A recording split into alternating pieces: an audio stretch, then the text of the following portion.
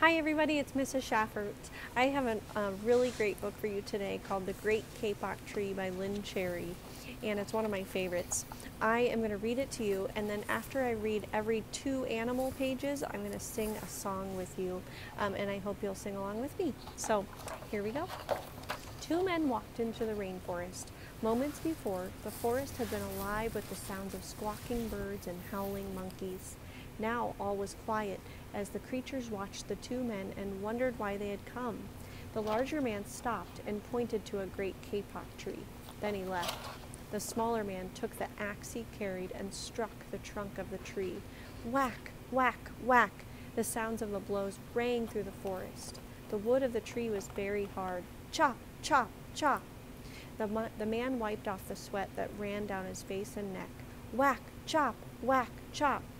Soon the man grew tired. He sat down to rest at the foot of the great kapok tree. Before he knew it, the heat and the hum of the forest had lulled him to sleep. Dreaming by the tree,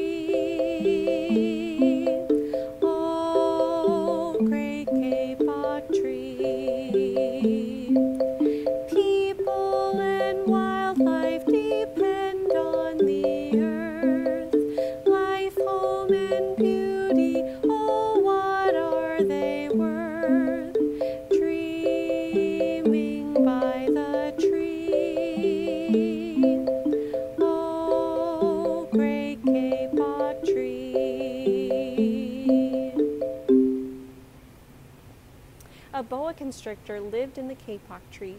He slithered down its trunk to where the man was sleeping. He looked at the gash the axe had made in the tree.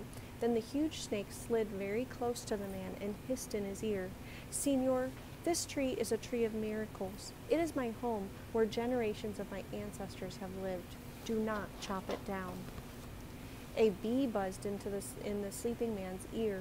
Senor, my hive is in this kapok tree, and I fly from tree to tree and flower to flower, collecting pollen. In this way, I pollinate the trees and flowers throughout the rainforest.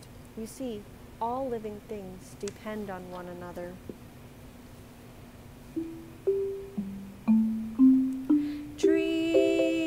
By the tree,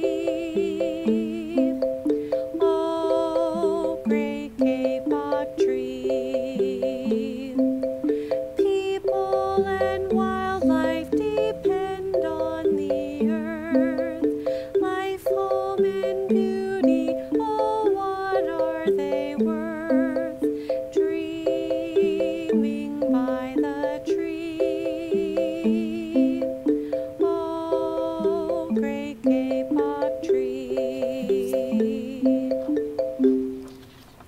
troop of monkeys scampered down from the canopy of the kapok tree. They chattered to the sleeping man, Senor, we have seen the ways of man. You chop down one tree, then come back for another and another. The roots of these great trees will wither and die, and there will be nothing left to hold the earth in place. When the heavy rains come, the soil will be washed away, and the forest will become a desert. A toucan, a macaw, and a cock of the rock flew down from the canopy. Senor, squawked the toucan, you must not cut down this tree. We have flown over the rainforest and seen what happens once you begin to chop the, down the trees. Many people settle on the land. They set fires to clear the underbrush, and soon the forest disappears. Where once there was life and beauty, only black and smoldering ruins remain.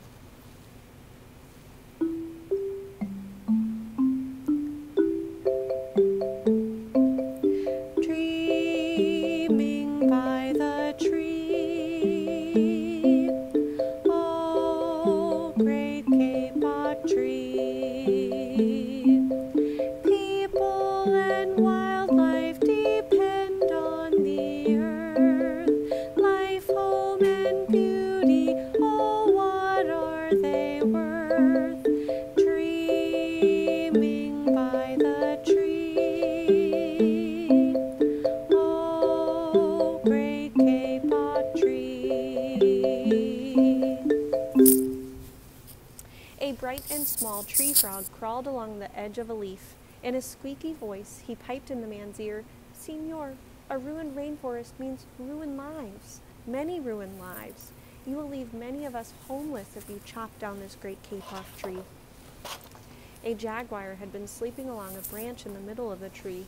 Because his spotted coat blended into the dappled light and shadows of the understory, no one no- had noticed him. Now he leapt down and padded silently over to the sleeping man. He growled into, the, into his ear, Signor, the kapok tree is home to many birds and animals. If you cut it down, where will I find my dinner?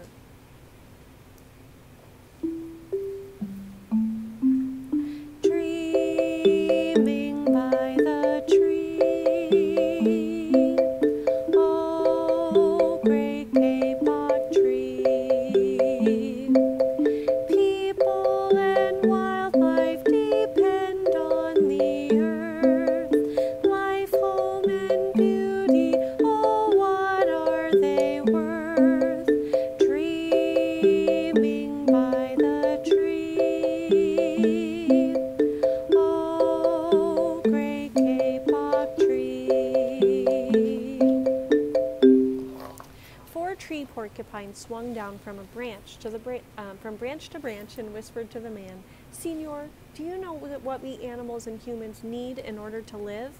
Oxygen. And Senor, do you know what trees produce? Oxygen. If you cut down the forest, you will destroy that which gives us all life." Several anteaters climbed down the kapok tree with their young clinging to their backs. The unstriped anteater said to the sleeping man, Senor, you are chopping down this tree with no thought for the future. And surely you know that what happens tomorrow depends on what you do today. The big man tells you to chop down a beautiful tree. He does not think of his own children, who tomorrow must live in a world without trees.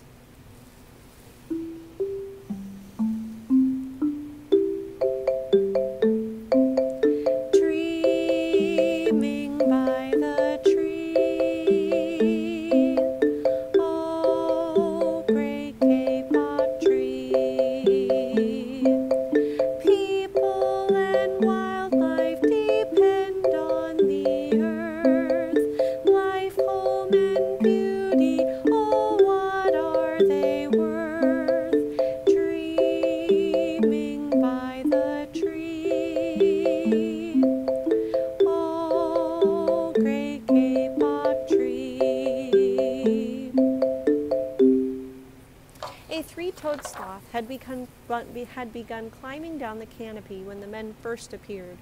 Only now did she reach the ground. Plodding ever so slowly over to the sleeping man, she spoke in her deep and lazy voice, Signor, how much is beauty worth?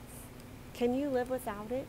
If you destroy the beauty of the rainforest, on what would you feast your eyes?